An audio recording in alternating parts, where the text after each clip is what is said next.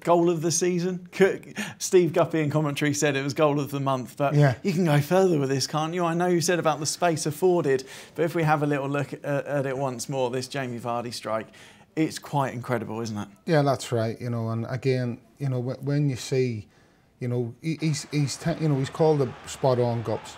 You know, as, as, that ball comes in, he's made his run. It's over his head. He's looking at the ball and not the goal. He knows where the goal is because of the, the, the, of where he's running down the middle of the pitch. And it's that telepathy between the two players. Eye on the ball. He just makes sure he's getting a good connection on. He knows where the goal is. He doesn't have to look. And but the hardest bit about that is getting the, the, connection right, getting a good enough connection. That's not a, a good connection. That is top class. Uh, but I'm sure someone will find a reason not to give that goal this season it's it's right up there without a shot of it because technically that is a very very difficult skill. Not unlike the goal he scored against Tottenham here at the King Power earlier on in the season, where exactly the same thing happened. Ball was coming over his head, and he had to volley it without knowing where the goal was or the keeper was.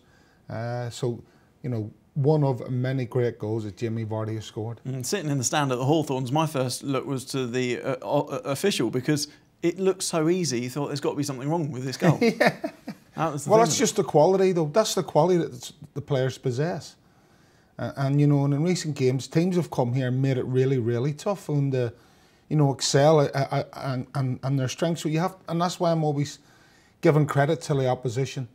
You know, instead of you know pulling the you know Leicester City apart, I, I'm always looking at the, what the opposition are trying to do. On Saturday, the opposition didn't try and do anything, and they got severely punished and rightly punished uh, because that's what these boys can do.